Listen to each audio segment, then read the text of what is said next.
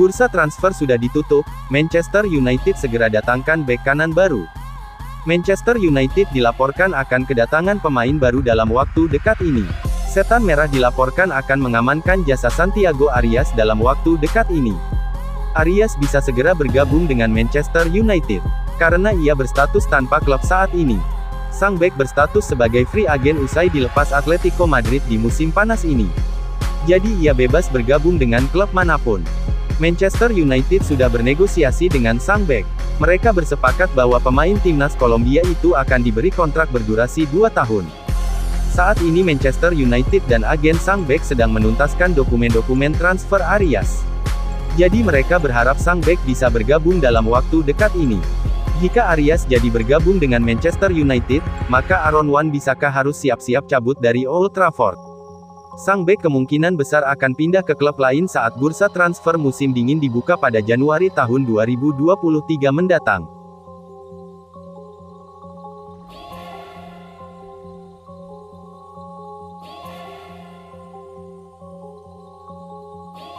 Gabung Manchester United, Anthony ingin curi banyak ilmu dari Cristiano Ronaldo.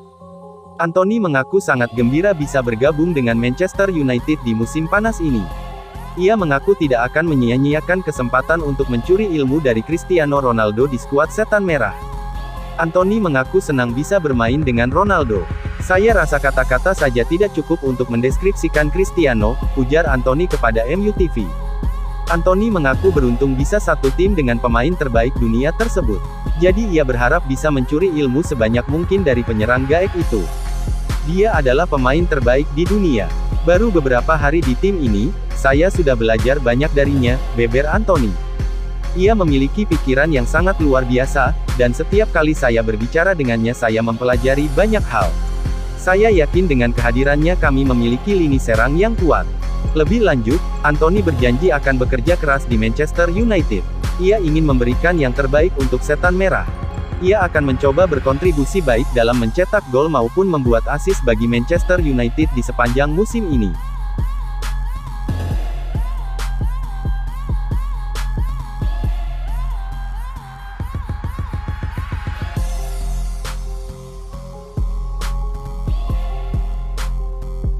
Terungkap, ini penyebab Manchester United batal datangkan Sergino Des. Sebuah informasi menarik datang dari Manchester United. Salah satu petinggi setan merah dilaporkan memveto transfer Sergino Des dari Barcelona. Sosok yang memveto transfer Des adalah John Murtough. Direktur olahraga Manchester United itu memutuskan untuk menentang transfer ini.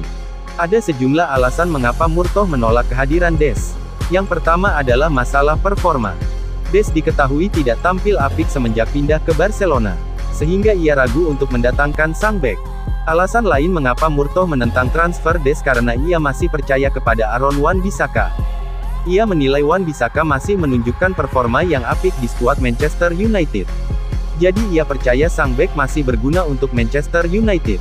Setelah bernegosiasi dengan Ten Hag, sang manajer menyetujui keputusan Murtoh. Jadi mereka batal merekrut Des.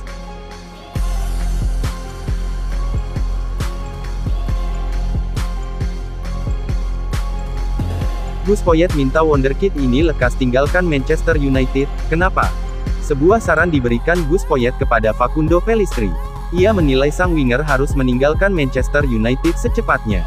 Pellistri merupakan salah satu pemain muda yang dimiliki United. Ia dibeli dari Penarol di tahun 2020 silam. Sejak bergabung dengan Manchester United, Pellistri kesulitan menembus tim utama Manchester United.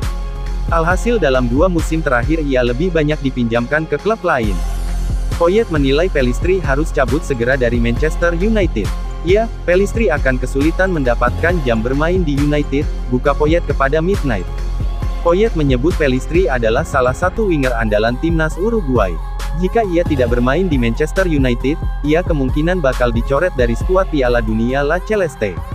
Poyet berharap agen Pelistri bisa melobi Manchester United. Ia berharap mereka bisa mencarikan Pelistri klub baru agar ia bisa fit sebelum Piala Dunia dimulai. Menurut kabar yang beredar, Manchester United sebenarnya ingin meminjamkan Pelistri ke klub lain di musim panas ini. Namun sang winger cukup apes karena mengalami cedera sehingga kepindahannya tidak bisa terrealisasi di musim panas ini.